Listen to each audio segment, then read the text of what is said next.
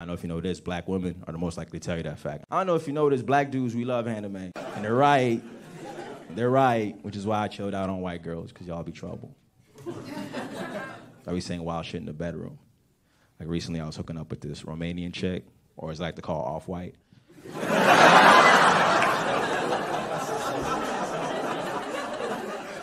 we was having sex. It was going cool.